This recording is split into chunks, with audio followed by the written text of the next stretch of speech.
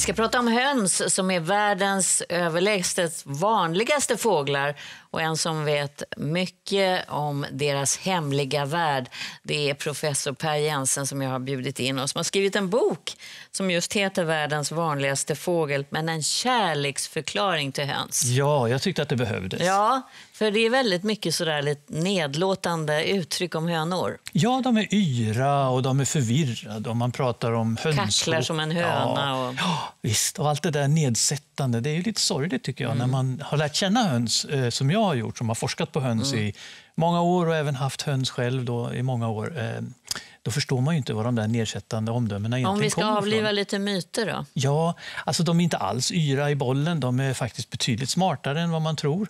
Ehm, till och med en liten kyckling kan faktiskt räkna, addera, subtrahera direkt när den har kommit ut ur ägget. Hur då? Hur vet du det? Man har gjort experiment där man har, har utsatt dem för eh, att man flyttar runt olika bollar och ser kan de hålla reda på hur många vi har flyttat mellan de här skärmarna. Och upp till 15 så kan de liksom subtrahera och addera och veta precis var En liten nykläckt kyckling. en som bara är ett par dagar gammal. Ja.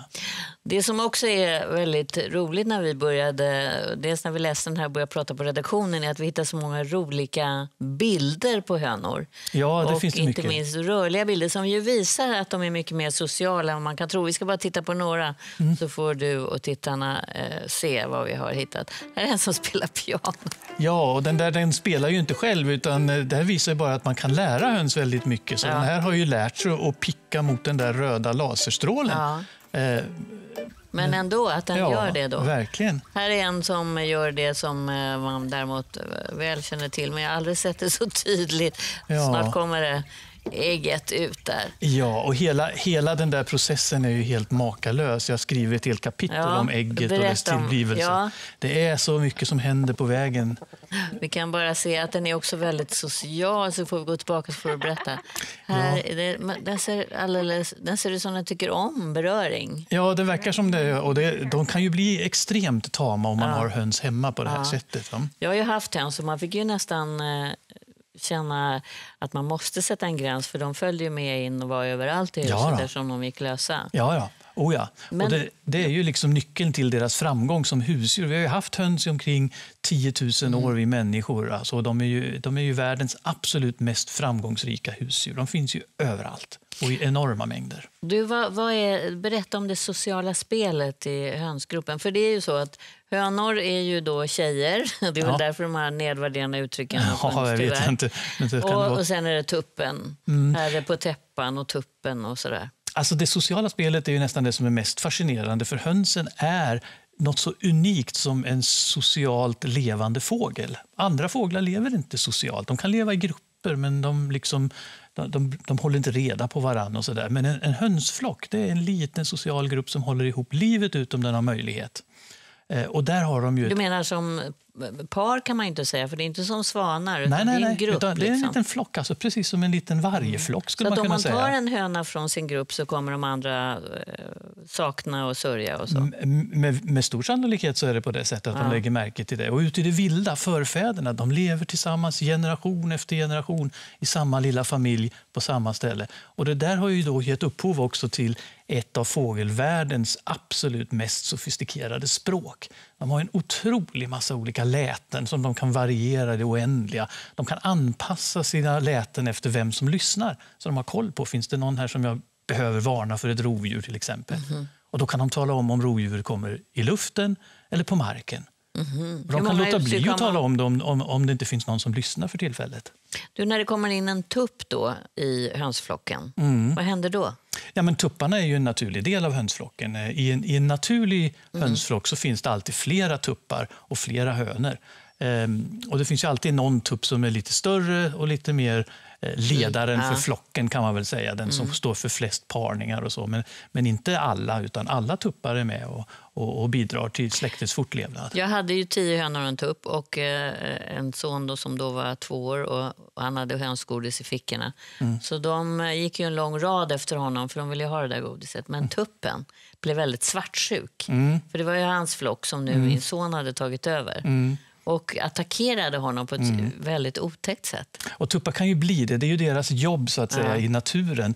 Det är ju att försvara reviret Mm. mot inkräktare. Och om man har levt väldigt nära människor så blir man ju nästan eh, som en människa. De blir människopräglade helt Mm. enkelt. Och till sist kan de börja betrakta människor som eh, i- inkräktare helt enkelt. Så, är- så tuppar, tuppar kan bli lite obehagliga, men för det mesta är de ju väldigt trevliga. Du, sen kan hönan välja, läser jag i din bok, Mm. vem eh, Berätta hur, hur hon, vilken tupp som hon vill ha barn med, höll jag på att säga, ägg med. Ja, så är det verkligen. Mm. Alltså, eh, det, det är ju så att det är många tuppar som kan para sig med samma höna. Mm. Ehm, eh, och, och hönan sparar spermier ifrån de tupparna.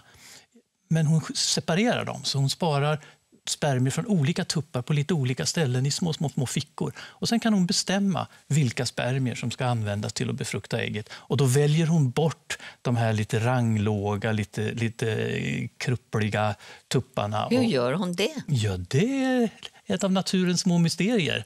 Det är inte så att hon tänker på det Nej. här, utan det, det sköts ju så att säga Det kemiskt. finns Men- olika små fack då? Eller? Ja, precis. Och, ehm, eh, de undviker ju inavel, så man väljer bort spermier från en bror om det är någon bror som har råkat para sig. Man väljer bort tuppar som har ett immunförsvar som inte är tillräckligt bra i förhållande till ens eget, så man kan få starka kycklingar. Så det händer väldigt mycket inuti hönan. Men du, de, är ju också, de har ju känslor, Mm. läs, läste jag i din bok. Alltså, det är inte alls som man tror, att de bara kacklar runt och går där och värper. Utan det här är känslor också. Verkligen. Eh, eh, Så känslolivet hos en höna är ju inte så där väldigt eh, skilt ifrån känslolivet hos ett däggdjur. Man vet till exempel att hönor kan ha en väldigt stark empatikänsla för sina kycklingar. Hon blir väldigt upprörd om hon ser att kycklingarna mår dåligt eller riskerar att utsättas för någon fara. Då kan man mäta fysiologiska reaktioner och man kan se på hennes beteende. Ehm, och överhuvudtaget så alltså de har ju ett, ett känsloliv som påminner väldigt mycket om vårat, åtminstone de här grundläggande känslorna. Men du, när man blir kompis med en höna, Mm. kan den känna också sådär som en hund för människor? Ja, det kan de nog göra. Jag tror inte lika starkt som en hund. För det, det är lite speciellt med hund och människa och, och, vår samlivshistoria. Men där, alltså, självklart kan en höna bli väldigt mycket kompis med en människa. Och, ehm, eh, de, kan, de, de står oss ju väldigt nära på många sätt och vis och har ju varit en väldigt viktig del av hela vår mänskliga historia.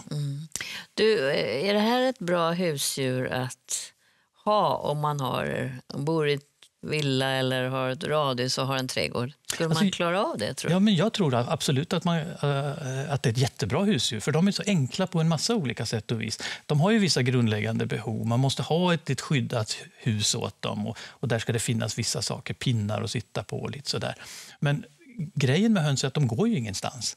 I deras naturliga beteende så ingår att man har ett litet, litet revir. Så hade de det i regnskogen i Sydostasien, deras förfäder. Och det har de tagit med sig till eh, dagens villaområden. Så de lämnar ju i princip inte tomten. Sen får man skydda dem, det märkte man ju Ja. för rovdjur. Men de går ju in själva på kvällen. Du Ja, behöver inte springa och leta efter dem. När Utan solen går ner så blir de Ja. annorlunda. De Ja, blir lite och har- loja. Och... har de sovit en natt på sina pinnar i hönshuset, då går de tillbaka dit på kvällen. Mm. Så egentligen är de ju väldigt lätta husdjur att ha att göra med. Det, det, eh, Vad tycker de om att man plockar deras ägg? då? Ja du, jag, jag vet ärligt talat inte om de tycker så väldigt mycket om det. För det naturliga beteendet hos en höna det är ju att lägga ett ägg om dagen och sen gå ifrån det där ägget. Ja, och sen kommer man. tillbaka ett dygn eller två senare och lägger ett nytt ägg. Och jag tror ärligt talat inte att deras minne är riktigt så bra att de håller reda på exakt hur många kan ägg de det göra finns. ägggömmor också, det upptäckte vi. Verkligen, Där det verkligen. plötsligt likt de och la på något ställe som man inte visste vad det var. Och så plötsligt kommer en liten kull kycklingar. Ja. Ja, det är fantastiskt. Du, eh, det här gör ju att man tänker på hur illa de behandlas på många ställen i industrin. Ja, och det är ju det som är det fascinerande tycker jag. att eh, Det är ju världens vanligaste fågel. Vi, vi har, i, i, I det här ögonblicket har vi över 25 miljarder fåglar på den här planeten och de allra flesta lever ju under omständigheter som inte är i närheten av något det vi har suttit och pratat om nu. De kan inte få utlopp för sina naturliga beteenden. De lever ett väldigt restriktivt liv i väldigt trånga industriell industriella anläggningar där man föder upp dem. Och det, det, är, ju, det, det är ju en paradox. Alltså. Så om man köper ägg ska man titta efter frigående. Ja, det, ska man väl, eh, det, det, kan man ju göra om man vill eh, i alla fall få, få det lite bättre. Men även de frigående hönsen har ju en väldigt industriell bakgrundshistoria. De har kläckts på industriella kläckerier och de har transporterats och de har bytt miljö och de har levt i ganska trånga miljöer. och så där. Äter du ägg? Du vet att jag har det så bra så jag har egna höns. Ja, jag förstod nästan Ja, så de ägg jag äter de får jag från mina egna du, höns. En sista fråga, varför har de gula ben? Det är ju väldigt intressant, för det är nämligen en egenskap som de har fått ifrån en helt annan art. Det är en art som heter grå djungelhöna som en gång i tiden korsades in eh, i, i det som då har blivit våra moderna höns. Och De där gula benen de gör att hönsen kan spara på eh, kar, kariton, karitonoider som är ett speciellt sorts vitaminer som de behöver. Mm -hmm. Så de lagrar dem i benen och benen är gula. Sen när de börjar lägga ägg då flyttar de de här ämnena in i äggen så äggulan blir gul och fin. Och det här har låtit, tillåtit dem att eh, vara våra viktigaste proteinproducenter även här uppe i Norden. För de kan liksom spara och tillgodogöra sig mm eh, födan och näringsämnena. Och så kan vi få i oss det när vi äter. Ja, visst är det fantastiskt. Mm. Ja, det är jättemycket mer fascinerande saker man kan läsa i den här världens vanligaste fågel. Och kanske det viktigaste från dig, en kärleksförklaring till ja. höns. Ja, jag, jag vill ha en sån. Mm. Tack för att du kom hit. Tack.